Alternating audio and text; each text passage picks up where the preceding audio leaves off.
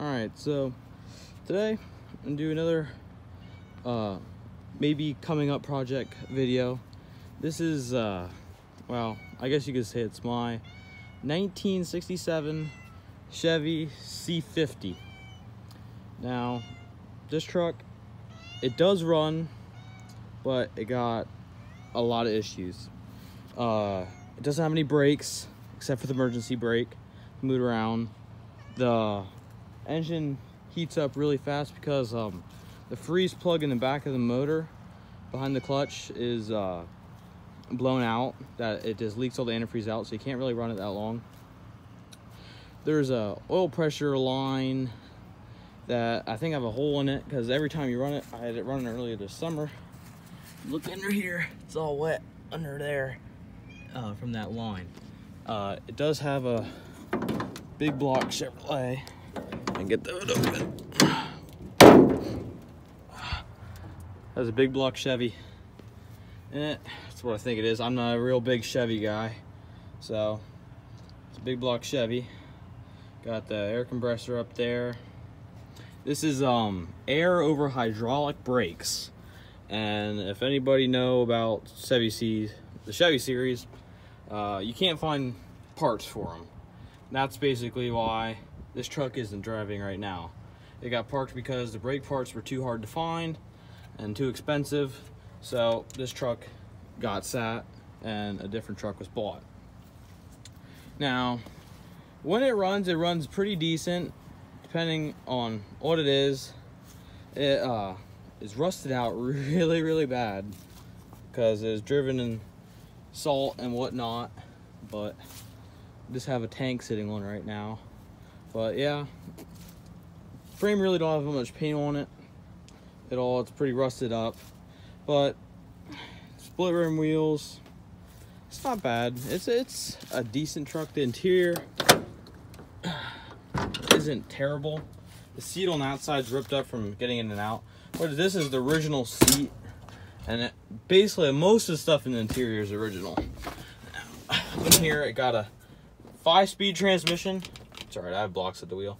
Five speed transmission with a two speed rear end in it.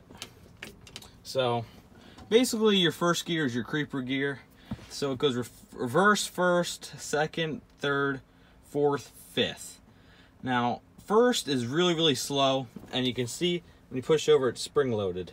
And you're reversing first so you don't accidentally go over there.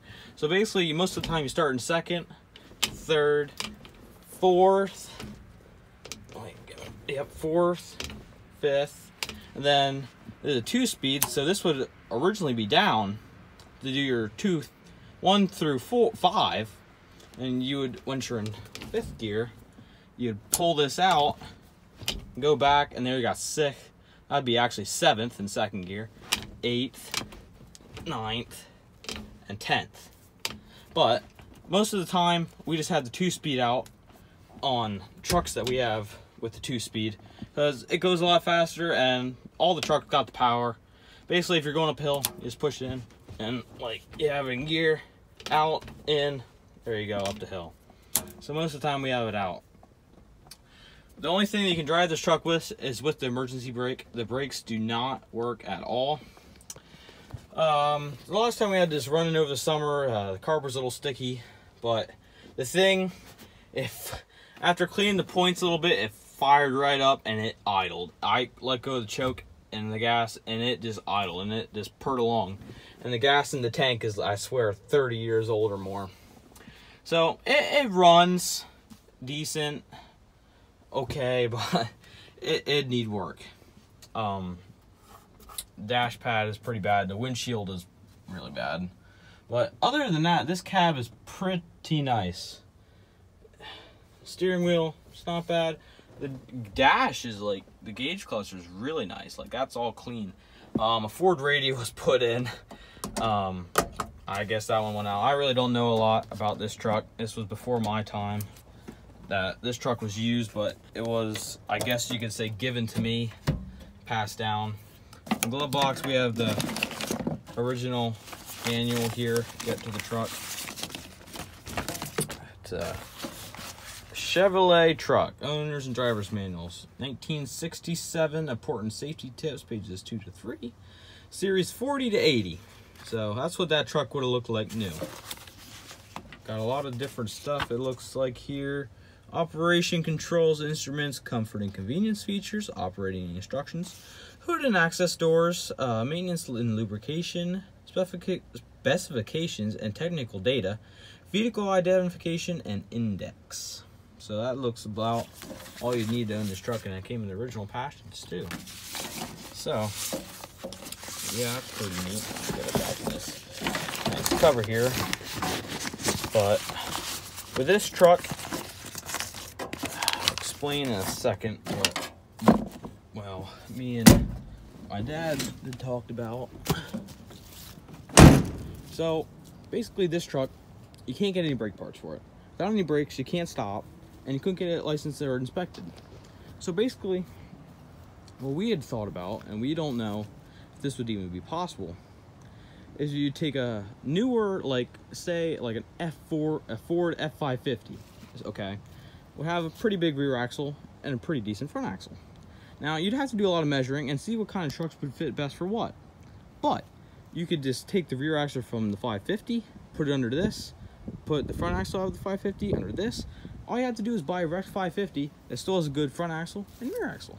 Then you hook it all up, and then you'd be having good brakes and everything. You could drive this. But it'd be a lot of work because the body isn't good. Now, doing all that work, would it be worth it for a truck this rusted out? Now, ask the question. And you'd have to pull the engine out to fix that freeze plug with an engine. It's it's it's war. It's war really hard. It's it, this truck was worked. That's for sure. Go on this side. this fender's just as bad at the same spot in the door, but it's pretty rusted out here. It only has a single exhaust. Looks like a vintage glass pack. This truck I used to love as a kid uh, when I was younger and I didn't know as much about trucks. I love trucks. Um, I always had plans of getting this on the road. But as I got older, you know, more realistic thoughts come to my mind, and this truck is pretty far gone. Now, the thing of this is, you could get this running and have this as like a shop truck, run around the farm, sort of kind of thing.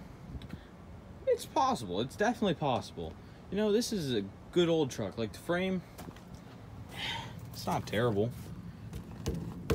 You know, springs are a little rusted out with the uh, U-bolts, but it's not bad. You give this frame, if you'd sandblast it down and paint it, it wouldn't look bad. If you put new shocks on the back and maybe new U-bolts, this would be pretty decent. You need to get new wheels because these are split rims and split rims are junk. Dangerous.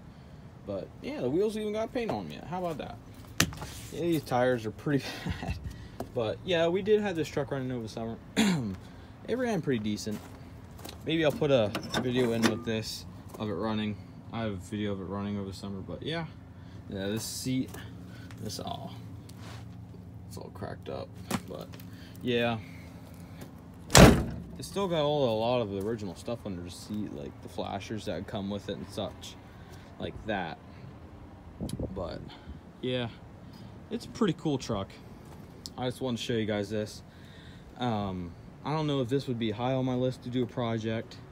This would be a lot of work. I have other projects that I could do and get finished in a, a uh, shorter time frame and would be better for me to do and more stuff that I could use than this. Um, on another note, uh, I love trucks and I've been looking for big rigs for a very long time to buy. So if any of you out there got a International Transtar cab over 4070A, I kind of like the 4070Bs more. I like the 4070B. They were made from 1974 to 1981.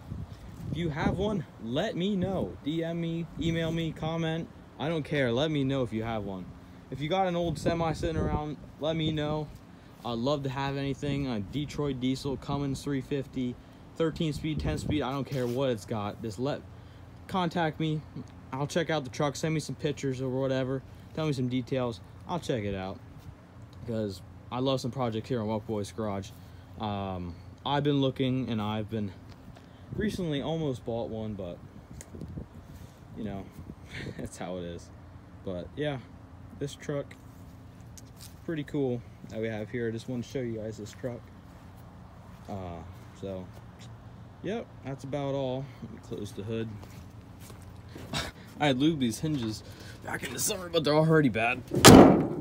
Already. It's, um, I wanted to at least move it. I never got a chance over the summer. Then I wanted to move it and um, at least just move it around because the oil's like moving a little bit and uh, pressure wash it off because it's growing mold. I hate to see it like this. So I was gonna pump the tires up and use emergency brake, move it over there to the front of the garage and pressure wash it, but I just didn't get around to it.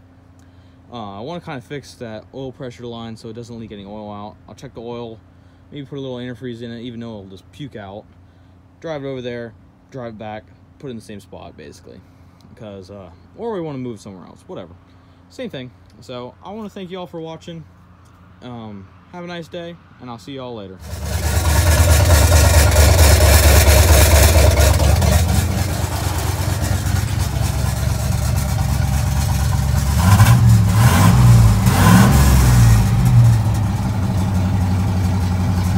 See if the choke goes off.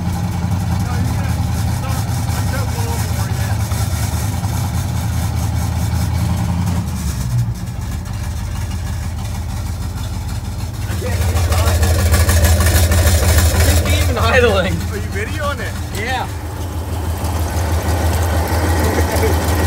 You have to stand back outside your truck and get a good video.